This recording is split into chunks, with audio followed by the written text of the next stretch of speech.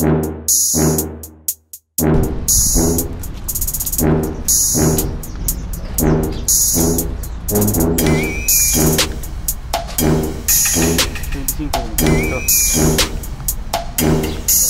haces?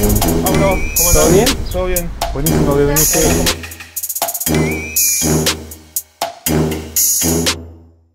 Tres, dos, uno.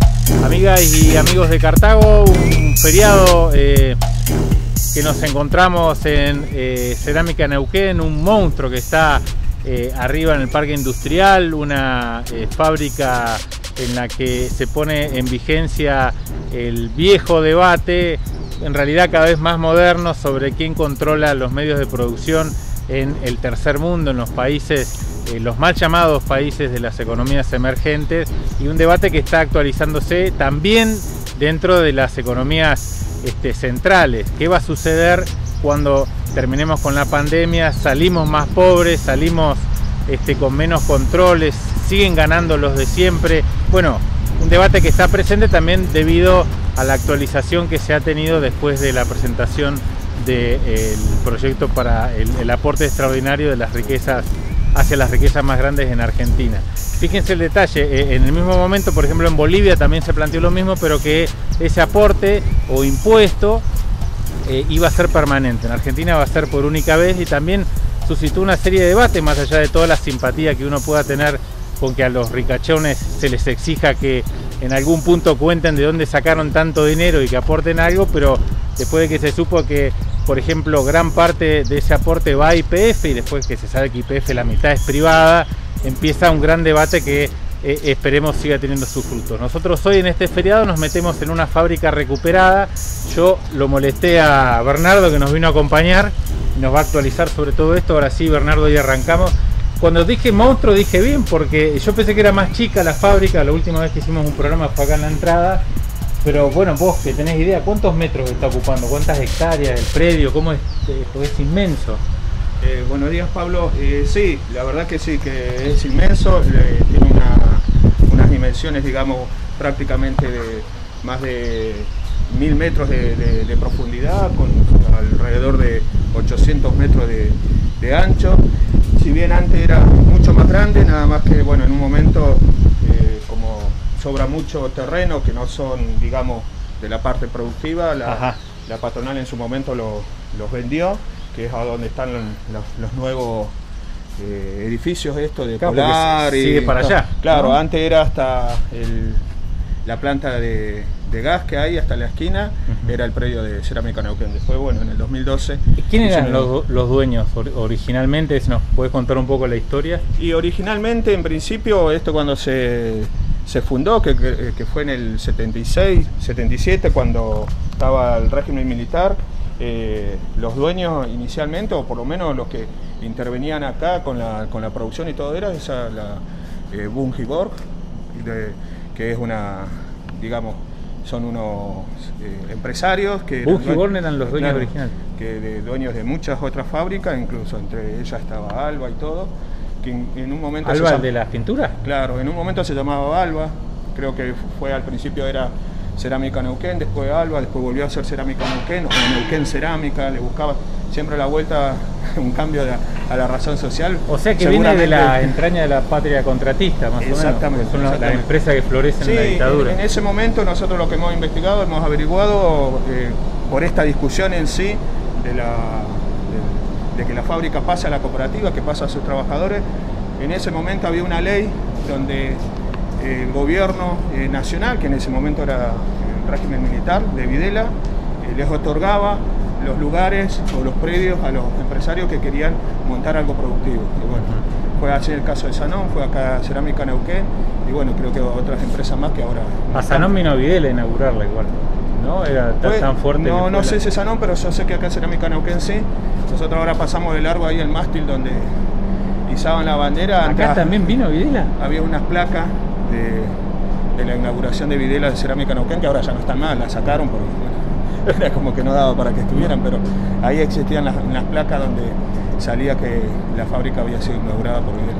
Y ahí viene después ya los empresarios neuquinos, ¿esto formó parte de alguna familia patricia de acá de Neuquén, de algún grupo neuquino? Sí, en realidad, en realidad la fábrica acá siempre tuvo eh, administrativos y tuvo, digamos, gente que se hacía cargo pero de la fábrica, pero seguían siendo los dueños los, de allá, hasta que en un momento llegó este hombre que es de Villafranca, que es de, la provincia de Buenos Aires, llegó como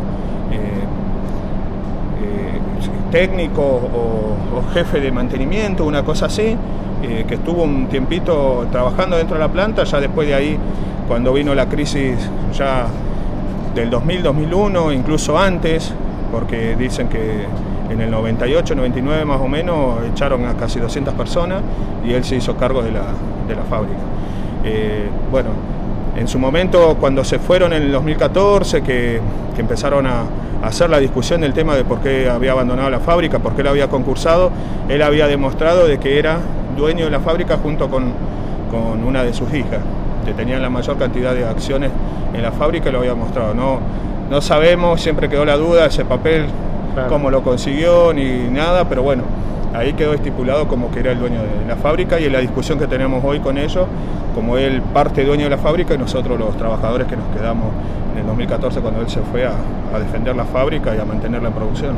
Bueno, ahí nos metemos en lo que vamos a... Ahora, por ejemplo, hoy que es un día feriado, generalmente, ¿qué pasa en la fábrica? Eh, ¿Hay un turno? Porque me imagino que los hornos no se pueden apagar. Claro, eh, los, los hornos, que después lo, vamos a ver, son bueno, un, equipo inmenso, grandísimo, ese tiene más de 120 metros de largo. Eh, no se pueden apagar porque trabajan a muy alta temperatura, eh, trabajan también con tracciones eléctricas, con ventiladores, todo.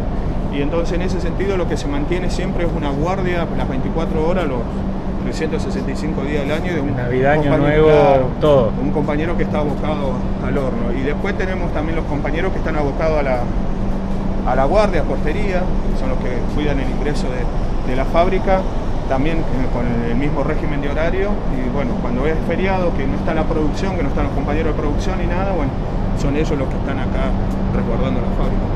En el año 2014 eh, recuerdo que hicimos un programa, pero claro, estábamos en la entrada eh, fue para acompañar a, la gestión. En realidad fue un momento muy duro porque tuvieron que quedarse en la FAB, una, una historia repetida en algún eh, punto muy similar a lo que pasó en Pad, pero bueno, ahora nos lo va a explicar mejor vos, pero recuerdo que claro, al estar en la entrada, me acuerdo que ese programa lo hicimos con eh, Mati Esteves y el Cipo, uno no tomaba dimensión de que esto seguía para atrás. Yo ahora estaba viendo, no sé si da el zoom, pero es inmensa la fábrica. ¿En qué momento ustedes ya eh, empiezan el trabajo como para meternos desde esa época y llegar hasta acá con lo que ya se denomina la gestión obrera? Porque yo recuerdo que esa vez fue eh, un acompañamiento en términos solidarios, pero fundamentalmente era porque nada, estaban haciendo el aguante en la entrada, había que hacer ahí este, hasta ollas populares, había que aguantar porque ustedes estaban sin cobrar. ¿Cómo fue que sucedió eso? Bueno, eso nosotros veníamos de un arrastre de. Si queremos para la reunión. Para otro lado por la vibración. Dale, dale. Eh, en ese momento eh, nosotros ya veníamos con algunas cuestiones, algunas peleas del sindicato y, por ahí de compañeros más activos con la patronal porque veíamos que se estaba transformando en un vaciamiento. Nosotros en el 2012, antes de la ida de la, patronal del 2014, fue el conflicto más grande que tuvimos. Estuvimos casi 24 días en, los portones, porque eh, ya ahí había ahí ya había salido como resuelto el concurso, un concurso que, empezó a tramitar en el 2010, que nosotros considerábamos que era fraudulento, porque en el 2007 fue cuando invirtió toda esta maquinaria nueva, que en su momento era moderna, y en el 2010 presentar como que estaba en, crisis y concursarla, nosotros lo veíamos que, era, que, no era así.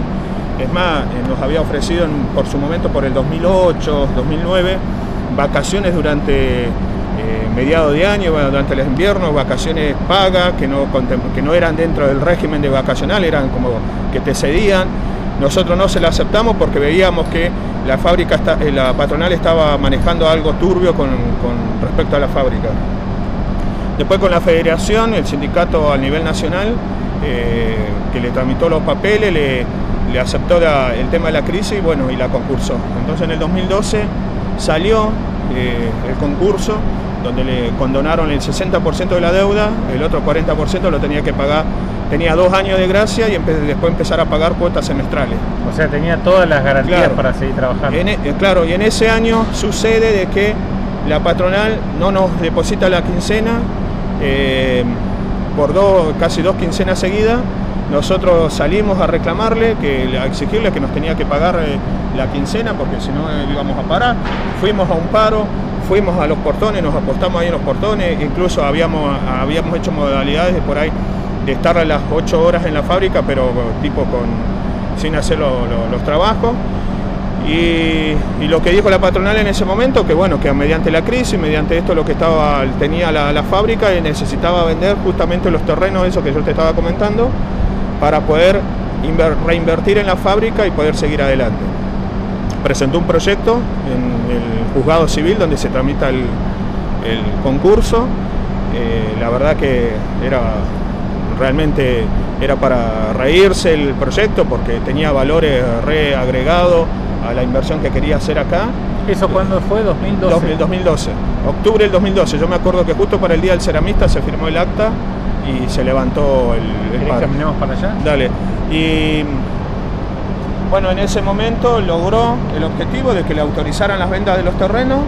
Los vendió, pero no invirtió nada en la fábrica, porque lo que vos ves, la línea de producción principal era la que estaba, y después había una línea realmente obsoleta que casi no funcionaba, que no, no producía nada, con otro horno de los más viejos ahí en marcha, pero no producía, después empezamos a tener de que teníamos que parar porque no había materia prima, teníamos que parar porque no había arcilla, teníamos que parar porque no había caja y era como que no pasaba nada. Después la producción. Vaciándose la. Claro, y después la producción era, digamos, bastante, había caído bastante, eh, se, fabricaba mucha segunda y tercera por distintas fallas, porque no, no hacerle mantenimiento adecuado a, las maquinarias, todo.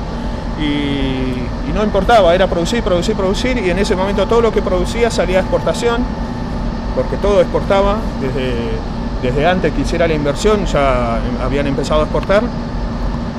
Hasta el 2014 que nosotros fue un año que incluso tuvimos pelea con el tema de las vacaciones, era, no las quería dar a las vacaciones en, principio.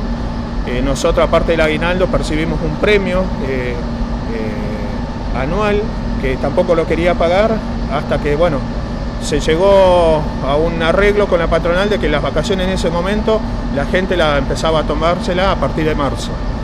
Imagínate la lucha, siempre era enero, febrero, los meses que por ahí no se comercializa tanto lo que es lo de la construcción, entonces se aprovecha, se sale vacaciones, se para la planta, incluso se hace mantenimiento, todo, pero bueno, ese año la verdad que no, sucedió eso, era claramente que se estaba... ¿Cuántos laburantes eran?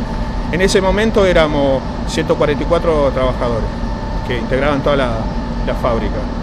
Y cuando salimos de vacaciones, que estábamos esperando el depósito de nuestras vacaciones, algunos porque querían viajar y otros porque querían hacer algunas cuestiones, no, no se realizó el depósito, esperamos un par de días, ¿no? Y cuando vinimos a la fábrica a averiguar, a ver qué es lo que pasaba, ya el patrón, él se había ido, durante la semana anterior que no estábamos acá, se había llevado computadoras, papeles, todo, fue lo que nos dijeron la gente de la administración.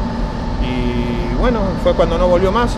Los únicos que venían eran la gente de la administración o los jerárquicos, que estuvieron viniendo un par de semanas hasta que tampoco volvieron más.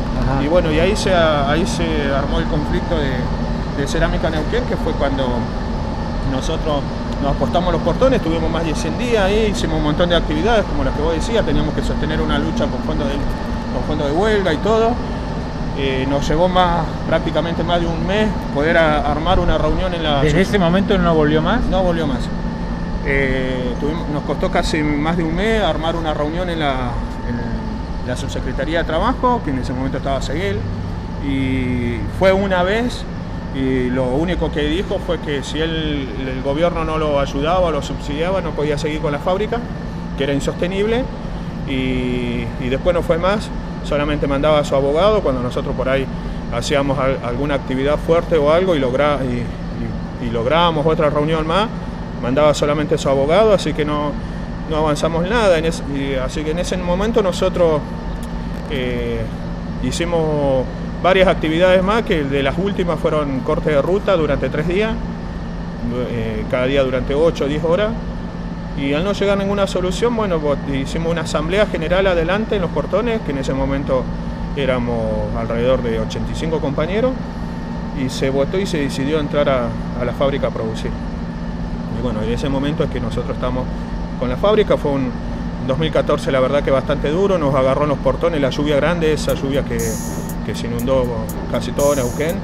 Nosotros acá teníamos también inundada la planta, corrían peligro los tableros eléctricos, los comandos del horno, todo, y vinimos y, los compañeros vinieron, agarraron las bombas de agua, vaciaron, y, o sea, recordaron las, maquinarias que, sabíamos que nosotros iba a ser lo que nos iba a ayudar o lo que lo que en, realidad lo que defendíamos, o sea, no, no, lo defendíamos solamente estar en el portón, sino lo defendíamos acá, cuidándola, haciendo mantenimiento, poniéndole el cuerpo en un, en un momento de dos o tres días que la verdad que fueron bastante complicados por la lluvia, pero bueno, los compañeros vinieron, aparte de cubrir los horarios que habíamos acordado de, cubrir, que siempre teníamos que haber a alguien, eh, eh, se tomaron el trabajo de poder solucionar ese problema que cuando se inundó la fábrica.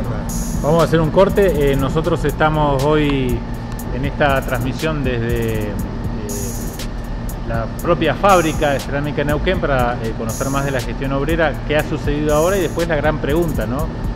¿Cómo se garantiza la impunidad, incluso en términos legales, de que alguien pueda vaciar una fábrica y después seguir su vida naturalmente este, mientras primero dividendos del Estado que nunca van a volver al Estado, quién es el responsable de eso, y después la suerte de cientos de familias trabajadoras que al día de hoy siguen este, acá en una trinchera que tiene mucho que ver con construir también una manera de relacionarse este, con el capital muy distinta a la que estábamos acostumbrados. Por lo menos desde antes de la caída de, la Rúa, que después, bueno, vamos a hablar un poco de eso con la aparición de los movimientos de fábricas recuperadas. Un corte y ya seguimos acá este, por Cartago en esta emisión especial desde este, las entrañas de la cerámica Neuquén.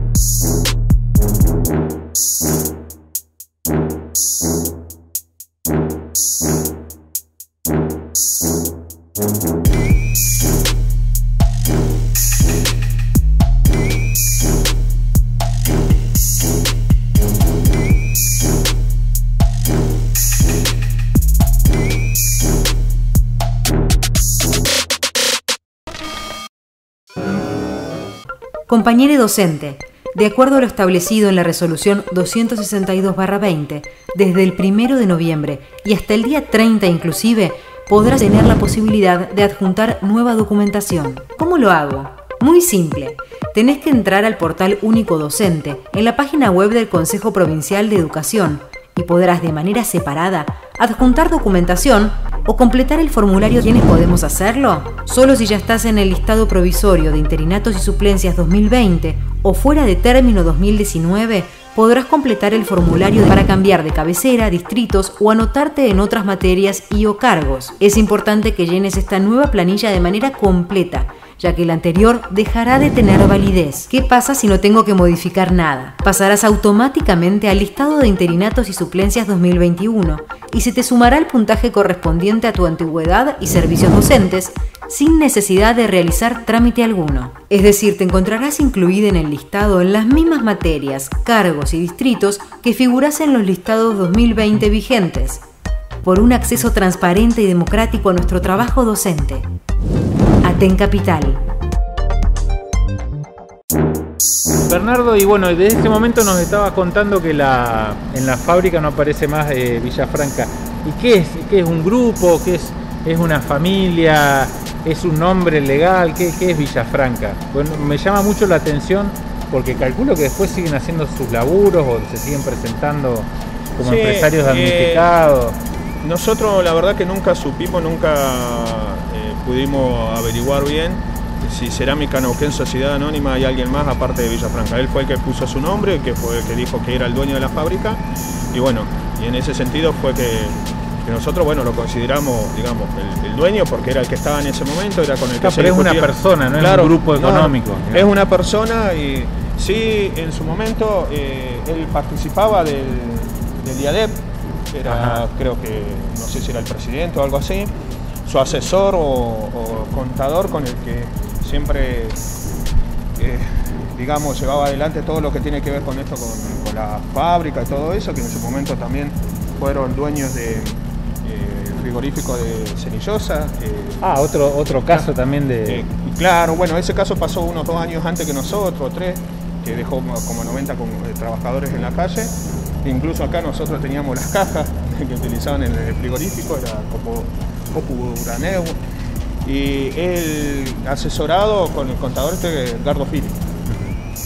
Philip sí es un apellido muy conocido. Sí, sí, sí, sí, La verdad que sí, que nosotros cuando nos enteramos todo eso, bueno, eh, digamos, no es que nos sorprendió, pero bueno, nos parecía lógico dentro de esto, de, ser parte de, esa, de, ese grupo ¿no? empresarial eh, y que, bueno, que vemos por ahí la, las maniobras que llevan adelante para con la fábrica, porque en su último periodo, más allá de, los créditos que él solicitó para poder hacer la, inversión nueva, eh, tuvo subsidio, nosotros por ahí, por ejemplo, nos pagaba con los, con los vales en su momento, esos los de COP, eh, después había una ayuda económica que, es el, que aún sigue vigente, que es para las empresas, que se llama el, REPRO. Eh, nosotros me acuerdo que nosotros lo percibíamos en, en el Banco Nación una suma que íbamos a retirar con nuestra tarjeta, que incluso en el listado salía también Villafranca como que estaba que también la podía cobrar. Claro. Y la empresa acá nos descontaba de la quincena ese, ese monto que, se transformaba en media ayuda para, para el trabajador, era una ayuda directamente para la empresa. Porque, ¿Pero cómo te lo descontaba? O sea, no, era, no el sueldo, descontaba el sueldo. Eh, vos percibías mil pesos de una ayuda y él cuando te iba a pagar la quincena te lo descontaba. O sea que ganaba el 200% siempre. Siempre, y, bueno, y eso después, más el tema de, las ventas, nunca quisieron mostrar los libros contables, que nosotros era una discusión, que tenía que demostrar la crisis que decía que tenía, no lo hicieron. Eh, pasaron también un par de contadores por la administración, eh, de los cuales eh, también cuando nosotros uno de los, contadores, que fue el que vino y se firmó el acta para resolver el conflicto del 2012, al tiempo renunció, ingresó otro. Así que tenían ahí, me parece, unas maniobras que no eran las que iban a llevar a, buen puerto la, continuidad de la fábrica. Y por ahí, bueno, compañeros en ese momento, con el sindicato, que ya venían con la experiencia de Shannon, todo, la veían venir y, bueno, y ah, medio como que, se, como que se iba preparando el paño a una lucha, a, un, conflicto que no iba a ser fácil. Y bueno, y fue lo que sucedió, fue un conflicto o sea que, e, esto no es tipo... Eh, la de ropa, ¿cómo se llama? La de Amici. Eh, más que nada porque no se pudo llevar las máquinas, ¿no? Pues otro ejemplo también de vaciamiento, una máquina ya sí se llevó las máquinas, no recuerdo el nombre de la empresa. Eh, sí, era Textil Neuquén, era mm, Huertas, los apellidos de... Los Huertas que se llevaron todas las máquinas a la noche eh, porque era más chica, casi podía, capaz que Villafranca se llevaba algún horno. Sí, ahí hay una cuestión, yo en ese momento eh, participé de ese conflicto, acompañé a las compañeras textiles Neuquén. Eh, la verdad que fue un, día realmente muy triste. No, no, solamente esa noche que, vinimos a hacer la guardia, que la, la patronal se había quedado adentro y bueno, seguramente por ayuda de las, otras empresas con, que hacían eh, los terrenos lindantes ahí, eh, pudieron irse, igual también complicidad de la policía, porque la, policía se puso a, circular ahí durante toda la noche y bueno, después al otro día nos encontramos que venían dos policías a cuidar la, la fábrica cuando ya nos enteramos que no había quedado nadie adentro y cuando decidieron las compañeras entrar a la fábrica, violentar el portón y entrar porque era su derecho, era su fábrica, todo, nos encontramos que estaba totalmente vacía y, fue realmente eh, un, momento muy triste para las compañeras y para todos los que estábamos acompañando. Pero nosotros veíamos que el mecanismo es el mismo. O sea, a eso iba, porque acá la diferencia de Villafranca es que él deja las máquinas y desaparecen. Claro pero la deja endeudada, o sea, son todas parte de la deuda esa que, que hace concursar a la fábrica, porque las máquinas están todas prendadas por el Banco Nación. O sea, digamos, si se la llevaba era como que cargaba con, e, con esa deuda y con ese concurso. Que también yo nosotros por eso decimos, siempre dijimos que el concurso era fraudulento porque nunca movió ningún trámite, ningún papel.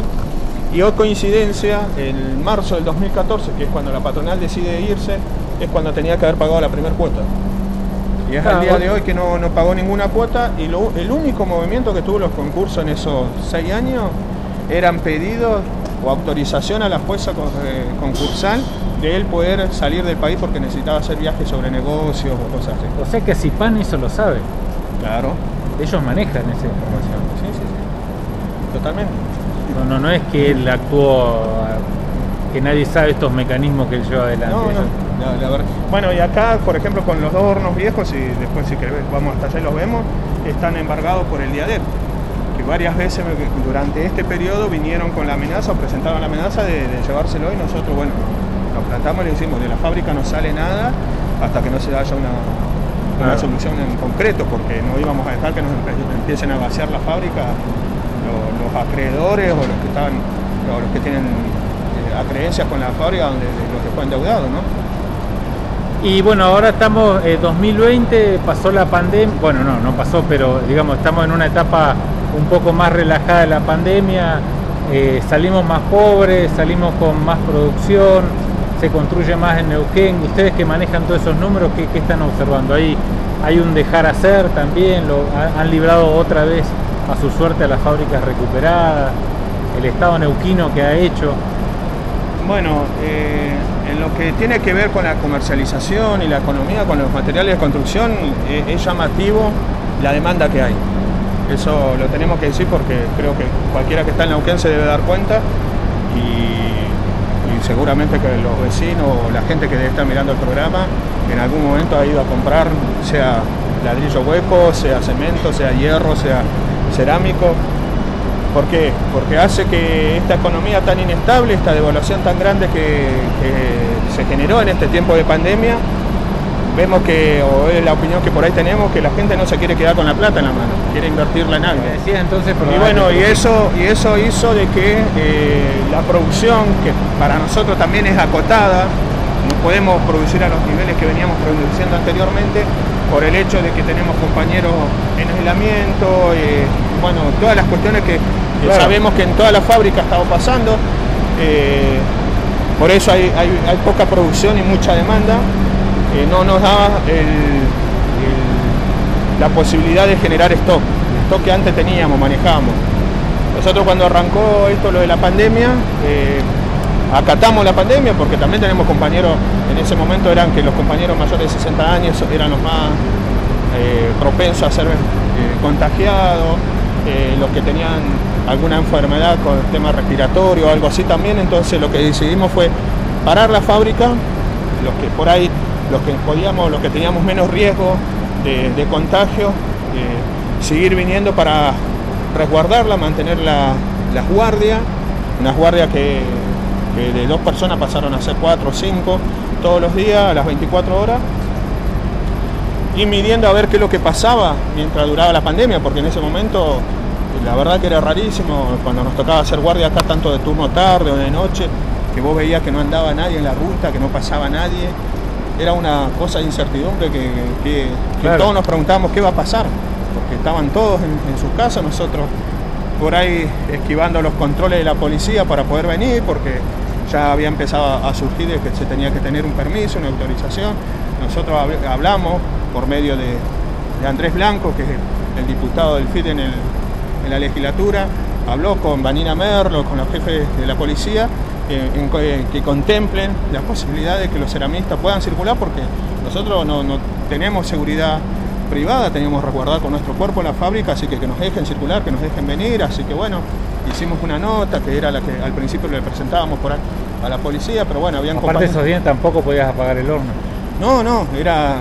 eh, bueno, pero llegó un momento que lo tuvimos que hacer. Lo Ah, tuvimos mira. que hacer porque no sabíamos cuánto tiempo más iba, eh, se iba a prolongar eso. Y pensábamos que, bueno, una semana más, un mes más, y bueno, fue pasando el tiempo y ya nos empezamos a, a- a preocupar porque nosotros vivimos de esto.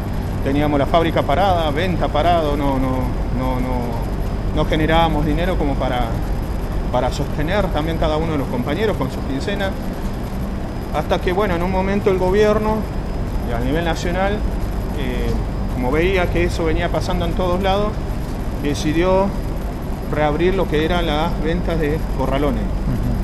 Entonces nosotros lo tomamos por ese lado y lo que hicimos fue, bueno, abrimos ventas porque necesitamos generar el dinero para nuestros compañeros, todo más allá de que no estemos produciendo y estén en la casa, teníamos que hacerlo. Eso fue casi un mes hasta que se decidieron, digamos, en realidad no es que se decidieron, eh, propusieron de que si las empresas o las fábricas de, productos, digamos, eh, esenciales, presentasen un, proyecto eh, acorde a la situación, se lo podría habilitar para, para producir. Entonces fue cuando nosotros, acá con las tres fábricas ceramistas, Sanón y Estefani, y junto al sindicato, armamos un protocolo, un proyecto, ha estado un protocolo estricto para, para, lograr, para lograr que nos habiliten la producción. Y bueno, y fue así, fue revisado por el Ministerio de Salud y también por el Gobierno Nacional y, fueron aprobados. Fueron las tres primeras empresas en la zona que que les permitieron trabajar. Que nos permitieron trabajar. Entonces en ese momento, bueno, rearmamos como podíamos también los turnos para producir porque había compañeros que no los podíamos hacer venir por dificultades de, enfermedades que tenían que podían ser propensos a contagio y también la gente más, más adulta que se tenía que quedar en su casa seguir haciendo el aislamiento. Así que con los que podíamos armamos un turno, se empezó a producir un turno. El tema que eran acotados también los horarios, porque acá siempre se trabajó mínimo por turno 8 horas, las 24 horas corridas. En ese momento habían habilitado que sean 6 horas nada más por día. Así que era bastante difícil poder largar a la producción, que te demora casi una hora, y tener que parar un poco antes para poder eh, eh, limpiar, lavar todo y poder eh, después largar al otro día. Así que se acorta, no son 6 horas de, producción, siempre terminan siendo 4 horas, un poquito menos bueno, hasta que empezamos a decidir extenderlo más, bueno, hoy es el día de hoy que tenemos dos turnos, que trabajan también seis horas cada uno, por una cuestión de que como nos faltan gente, hay compañeros que están en los dos turnos, hacen 12 horas ya directamente. Entonces por eso no podemos tirarlos a 8 horas porque si no, no nos faltarían eh, compañeros para poder sumarse. Pero todo esto es por el tema del aislamiento, hemos tenido casos de COVID, hemos tenido algunos casos que han sido graves, otros no tanto, pero bueno, eh, no hemos lamentado tampoco la, pérdida de ningún compañero por esta, por esta pandemia. Eh, vamos a hacer un, un pequeño corte. Nada, imagino que las y los que nos están viendo están con un montón de preguntas respecto a qué fácil que es ser rico en Neuquén. Porque puedes tomar, por ejemplo, un terreno VIP, hacer una cancha de golf tomarte unos 20, 30 años hasta que alguien te reclame un, permiso. Incluso podés invitar al gobernador y toda su familia que viva en ese terreno eh, usurpado y vas a asegurarte obviamente una permanencia de unos 30 años hasta que se arregle otra vez el tema de los papeles. O no pagar impuestos, este, o definitivamente pedir un crédito, nunca devolverlo y después seguir con tu gran vida. Eh, nosotros vamos a un corte y en esta parte que lo molestamos a Bernardo y a los compañeros que nos abrieron hoy la fábrica en este día feriado, eh, queríamos dialogar sobre el presente en términos judiciales y legales, este, sobre todo porque hubo un intento de entrar a la fábrica hace muy poco tiempo y queríamos estar al tanto de todo eso. Ya venimos.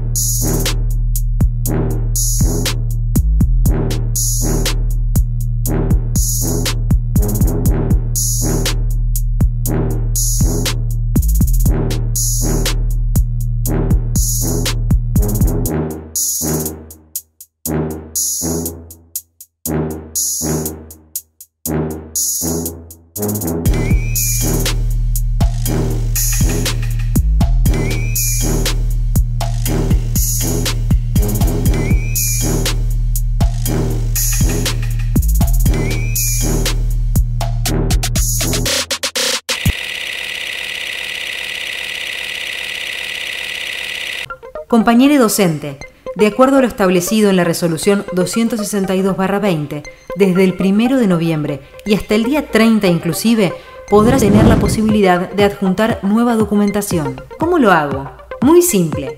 Tenés que entrar al portal único docente en la página web del Consejo Provincial de Educación y podrás de manera separada adjuntar documentación o completar el formulario. ¿Quiénes podemos hacerlo? Solo si ya estás en el listado provisorio de interinatos y suplencias 2020 o fuera de término 2019, podrás completar el formulario para cambiar de cabecera, distritos o anotarte en otras materias y o cargos. Es importante que llenes esta nueva planilla de manera completa ya que el anterior dejará de tener validez. ¿Qué pasa si no tengo que modificar nada? Pasarás automáticamente al listado de interinatos y suplencias 2021 y se te sumará el puntaje correspondiente a tu antigüedad y servicios docentes sin necesidad de realizar trámite alguno. Es decir, te encontrarás incluida en el listado en las mismas materias, cargos y distritos que figuras en los listados 2020 vigentes, por un acceso transparente y democrático a nuestro trabajo docente.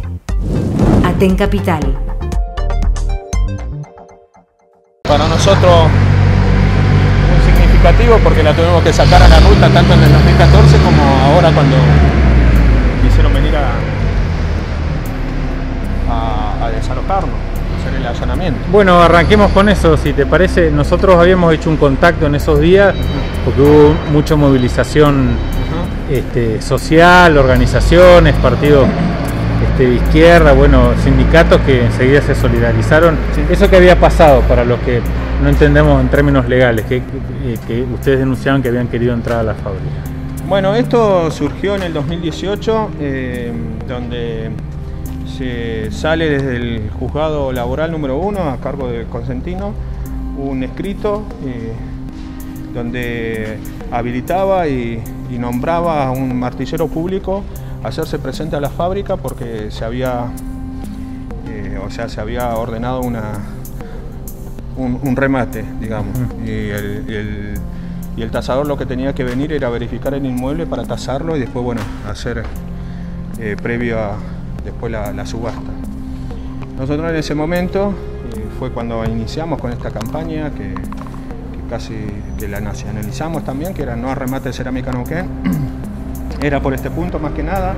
Se trataba de unos juicios laborales de unos ex trabajadores que fueron los que no se quedaron con nosotros, que en su momento en el 2014 decidieron irse. Y bueno, y ellos hicieron su reclamo ante la, patronal de los salarios y de sus indemnizaciones sobre todo.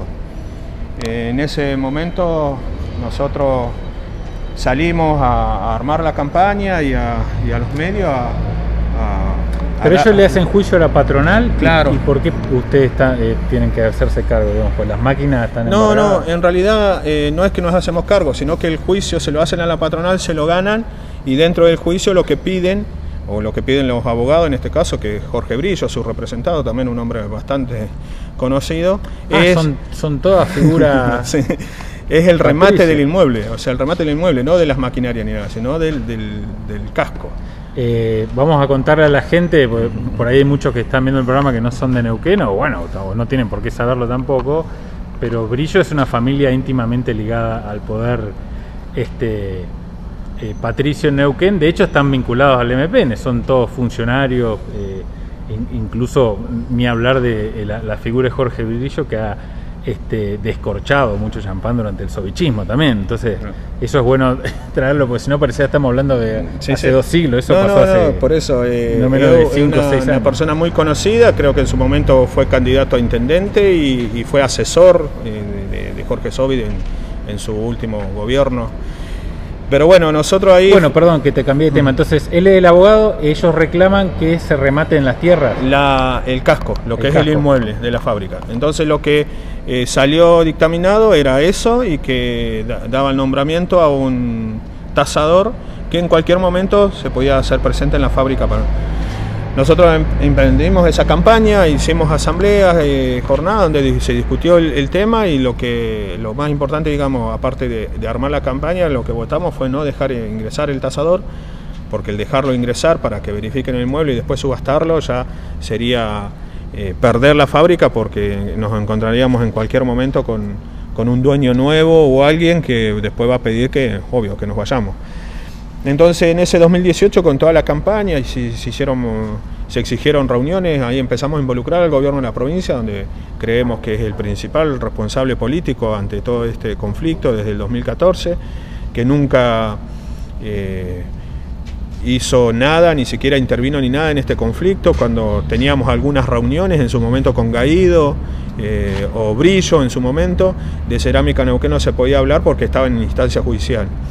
Y bueno, una vez ya llegado de que nosotros nos sentíamos realmente una amenaza eh, de, perder la fábrica, eh, empezamos a hacer actividades más fuertes, a, llevar adelante lo que era no, al remate de Cerámica Neuquén. Y lo que por ahí en ese año aparece poco, pero lo que pudimos por ahí lograr fue que el tasador no se hiciera presente en, la fábrica, que, no, que no viniera porque sabía que no, lo íbamos a dejar entrar, que iba, iba a ser un momento realmente bastante eh, claro, intenso, todo, así que después en el 2019 arrancamos el año nuevamente como reafirmando desde el juzgado eh, al, al tasador que se hiciera presente, esta vez ya era como una una presión que le tiraba el juzgado al tasador. Nosotros volvimos a, hacer una campaña y, esta vez lo que decidimos fue involucrar al juzgado civil donde se tramita el concurso. Ahí la jueza en su momento no, nos recibió, eh, eh, dijo que bueno, que ella dentro de su de, lo que podía hacer iba a tratar de, arreglar algo o, por lo menos ver que lo que se podía llegar a hacer y bueno, lo que se hizo en ese momento fue una mesa de diálogo con todas las partes involucradas, tanto los, síndicos de los, de los acreedores del concurso, el abogado que viene tramitando esto, lo, del remate, y la patronal. Y fue bueno cuando la patronal vino y se sentó después del 2014, después que se había ido en una reunión. Después de cinco años. Cinco años bueno, ahí hubieron dos reuniones que se presentaron cada una de las partes. ¿Vos tuviste esa reunión? No, yo en ese momento no, en, ese momento había otro compañero que, que, estaba como presidente de la cooperativa y, y bueno, y, como esas reuniones por ahí se podían hacer con más personas, había otros compañeros que se sumaron a la delegación. No, me preguntaba por ver la cara al chabón después de 5 o 6 años. Pero bueno, no, no te quería No, igual, igual yo tampoco lo, vi y, ahora, bueno, ahora cuando hablemos más de lo actual tampoco, tampoco vino. Eh, nosotros ahí le exigíamos que los trabajadores querían seguir trabajando, que la fábrica se tenía que seguir manteniendo en pie que nos, había costado mucho, mucho trabajo, mucho esfuerzo y que no íbamos a permitir que la cerraran y que Eso fue 2019. 2019. Bueno, entonces en la segunda reunión, porque hubieron dos reuniones, en la segunda reunión eh, la patronal se va diciendo de que eh, tendría una propuesta integral donde saldrían eh, beneficiosas todas las partes dentro, del conflicto que tendría que ver con los la venta o la comercialización de los terrenos ociosos de, la fábrica. Eh, pasado eso, bueno, eh, quedamos esperando que la haga concreta, que la haga por escrito, que llame a una reunión y la presente. O sea, vender eso para pagar sus juicios. Y las deudas. Tanto las deudas de ellos, pero ustedes no lo... No, no exactamente. Eh, pasó eso. ¿A usted les pareció algo bien, digamos? O sea, y estaba dentro de las posibilidades, pero bueno, no nos confiamos porque bueno, sabíamos que estábamos discutiendo con, con empresarios y que no nos íbamos, no, no nos confiamos de que fuera por ahí tan sencillo eh, resolverlo, ¿no? Que seguramente porque incluso dijo, no dijo en ningún momento que se diría la fábrica a los trabajadores que la transferiría. Entonces ahí ya cambia, porque para transferirla ahí estamos, que pagar, estamos hablando de... Bueno, falta el 08, digamos, decía vos. Bueno, y en ese momento la patronal empezó a tener problemas, tanto con su abogado, con, con que estaba haciendo averiguaciones del Banco Nación y algunas cuestiones para poder armar el, el proyecto y, estábamos en un año electoral, un año donde estaban todos subidos a la campaña, el gobierno provincial no nos atendió, no nos abrió su puerta en todo el año.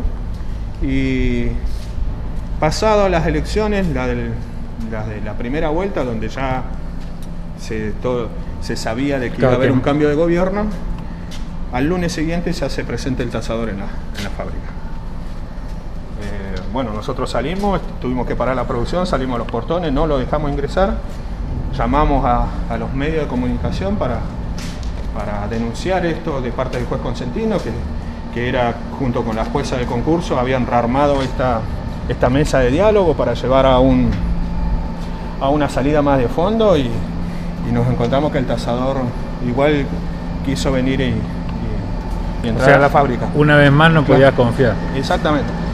Bueno, nuevamente retomamos la campaña de no remate cerámica Neuquén, ya llegó fin de año, eh, llegaron las vacaciones, el, receso judicial.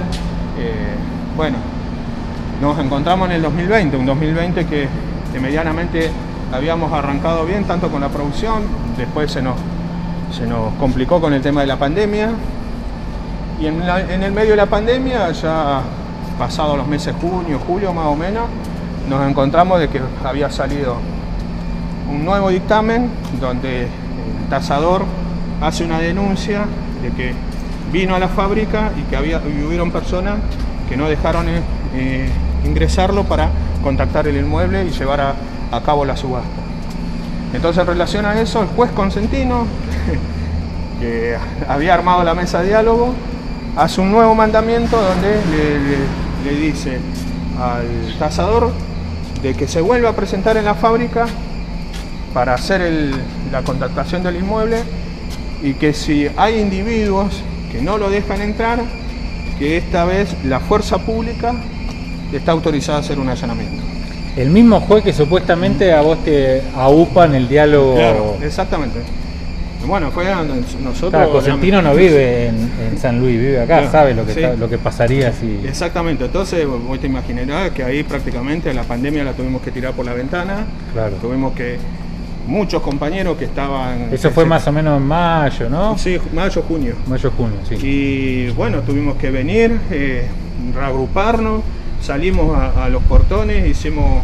Hay un llamado a todos los medios, eh, denunciando esta situación que nos parecía en su momento lo dijimos, que a nosotros nos parecía un, crimen social, que en, medio de una pandemia, de una crisis económica, quieran venir y, cerrar una fábrica que, resguarda el trabajo para 80 trabajadores, nos parecía eso.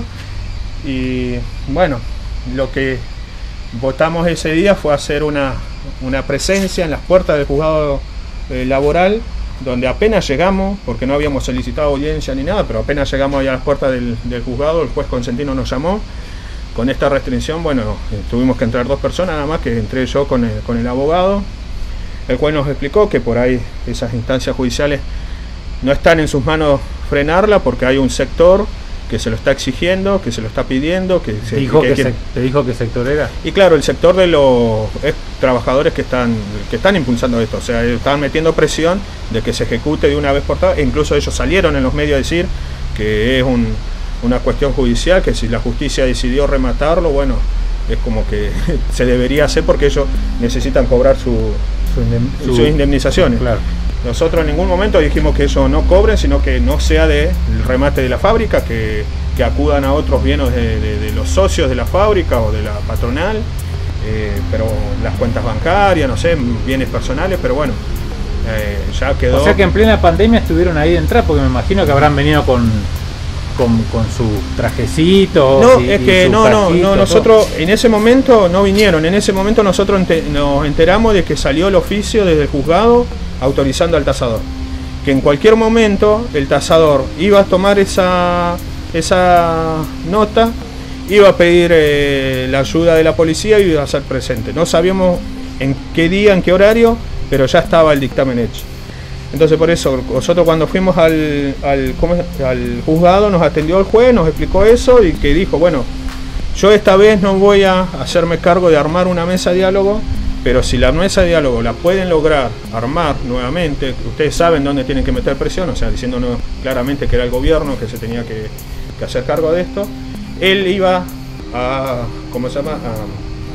A, tratar de frenar esa instancia judicial para dejar de que se resuelva por otra vía este conflicto.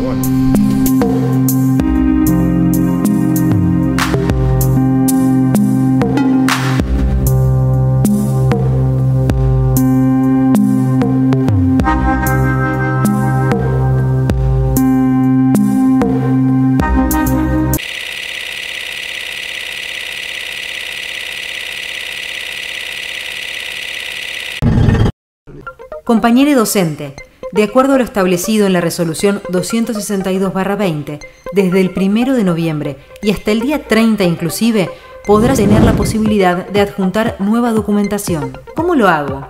Muy simple.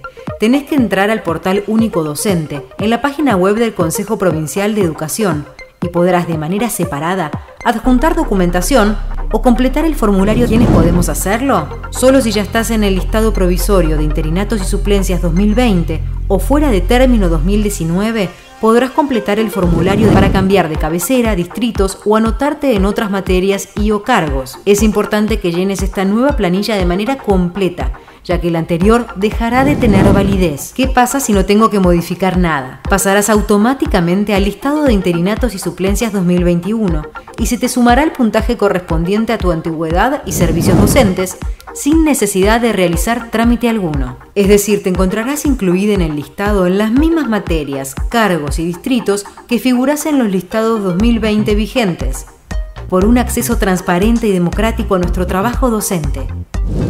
Aten Capital. La deuda. más teniendo en cuenta que es el Banco del Estado. Sacándonos la máquina, que es lo que nosotros utilizamos para producir.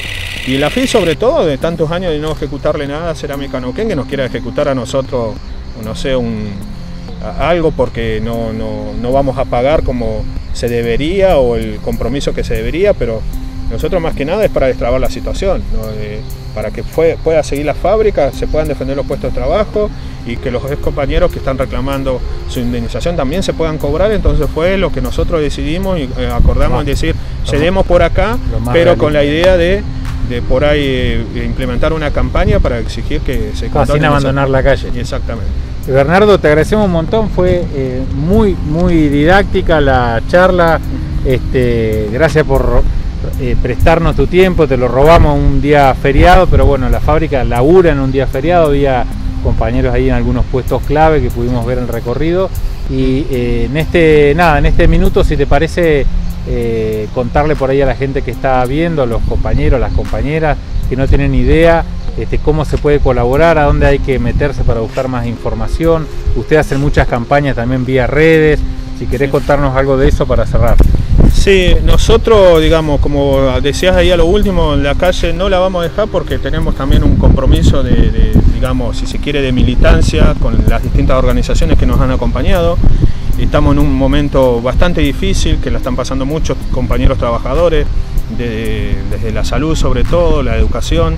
Eh, también bueno, se ha abierto un conflicto bastante amplio que nosotros creemos que tenemos por ahí nosotros la posibilidad de llegar a una solución, que es la tierra para las viviendas, eh, porque entramos dentro de eso, hay una discusión con el tema de la propiedad privada, nosotros estamos, somos eh, trabajadores que digamos tomamos la fábrica para defenderla y ponemos en discusión la propiedad privada, que tan propiedad privada es para los empresarios y deja de ser privada para los trabajadores como, como la necesidad de tierra para vivienda y con otras organizaciones que también arman cooperativas para hacer vivienda, porque nosotros tenemos un gran apoyo de, distintas organizaciones, por ejemplo acá la que más digamos, eh, digamos hace referencias el MTD, viene, viene apoyando mucho a lo que es las gestiones obreras, ellos están exigiendo la apertura del plan de las obras del plan de obras públicas donde ah, que te podrían comprar a vos donde, claro nosotros podríamos ser eh, proveedores ellos tendrían la mano de obra se eh, garantizaría trabajo y se garantizarían también las viviendas o las escuelas o hospitales para la, para la gente que es lo que hace falta ahora. Por eso nosotros decimos no vamos a dejar la calle porque vamos a seguir acompañando esos reclamos.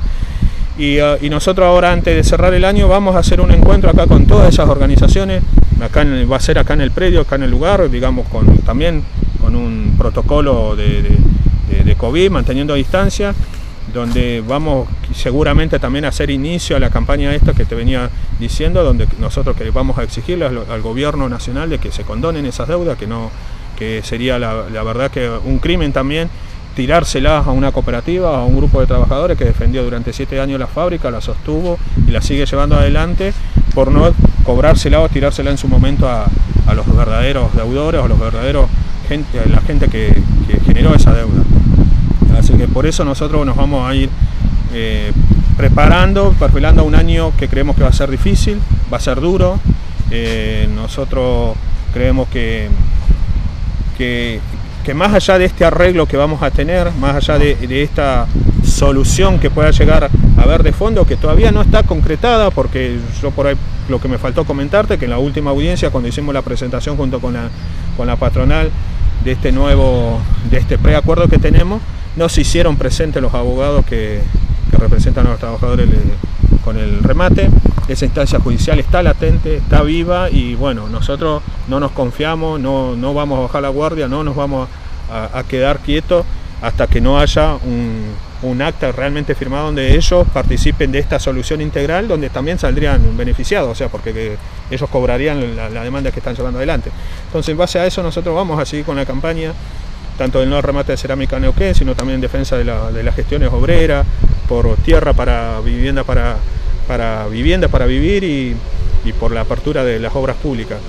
Y básicamente por ahí la colaboración que, por ahí necesitamos de la, de la gente, bueno, que sepa nuestra situación, que por eso yo les agradezco a los medios que, que, se nos acercan, les agradezco profundamente porque nos dan ese espacio, ese lugar para poder nosotros difundir nuestra situación, que que nos acompañen en esta defensa de, la fábrica, que son 80 puestos de trabajo, pueden ser más si, todo va bien, pero también más allá de esta, por eso quería llegar, más allá de esta solución que puede salir o no y pasan en todos lados, las gestiones obreras seguimos demostrando que somos una salida a la crisis.